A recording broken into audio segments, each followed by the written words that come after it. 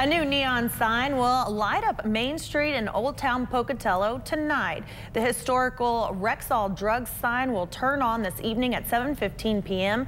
and become the 14th neon sign to be renovated and restored by Relight the Night. The sign will be located inside the Cottonwood Junction store and light up each night from dusk through midnight.